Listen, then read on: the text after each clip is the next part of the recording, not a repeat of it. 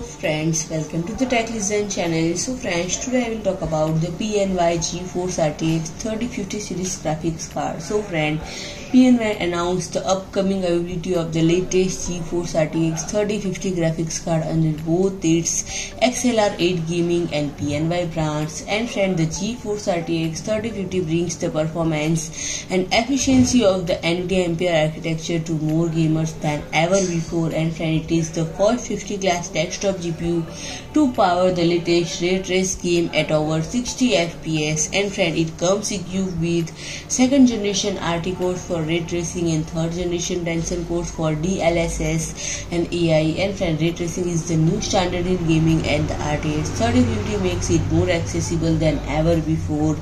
And friend, the GeForce RTX 3050 delivers improved throughput and efficiency versus the prior generation for a huge leap in the performance as compared to the GeForce GTX 1650 and featuring 8GB of high-speed DDR6 memory combined with real-time ray tracing, these cards bring unparalleled in-game performance and realism to gamers everywhere and friend gamers and content creators will experience boosted performance with the GeForce RTX 3050 to get the most out of that system. And friend, the new models in the PNY lineup are available as a part of UPRISING and Revel families of graphics card and feature both single and dual fan coolers and selected models features EPIC-X RGB lighting and friend, the three model offer impressive high performance cooling and allow user to take advantage of the latest GeForce RTX technology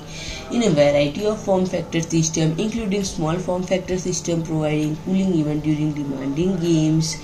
and friend the PNY XLR8 Gaming GeForce RTX 3050 Revel comes equipped with EPIC-X RGB lighting to level up your graphics card and illuminate your system. And friend if I talk about the product specification the specifications are 8GB GDDR6 128 bit memory single and dual fan configuration PCI Express 4.0 DisplayPort 1.4a and HDMI 2.1, EPIC-X RGB and Revel editions. So friend if you like my video, please do like, share and comment and don't forget to subscribe my channel and press the bell icon.